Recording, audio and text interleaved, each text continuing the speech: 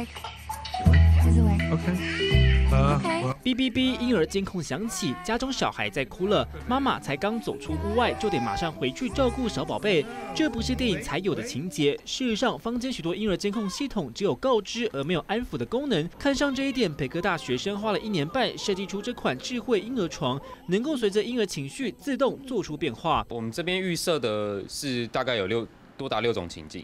假设我们今天婴儿是在白天哭好了，我们可能就会比如说用旋转他头上的玩具啊，吸引他的视觉。好，糖糖哦，糖糖。实际找来小婴儿做测试，床上各种机关立刻吸引注意力。要是小宝贝真的大哭大闹，也会有所感应。透过声音辨识技术，婴儿情绪第一时间手机立刻转达。如果是笑声，婴儿床会自动摇晃，并且转动玩具；如果是哭声，会播放父母的声音，还有放音乐。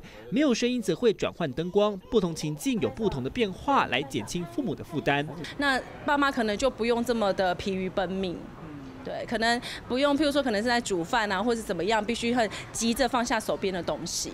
一大困难点，也就是在于如何去处理一些声音的杂讯，怎么去采集我的音档，在所有的一些杂音的问题要怎么处理，以及声音的音量大小声会不会影响到。智慧婴儿床还只是雏形，未来希望将所有设备系统做整合，让每个新手爸妈照顾小孩更方便。记者杨格李永进台北报道。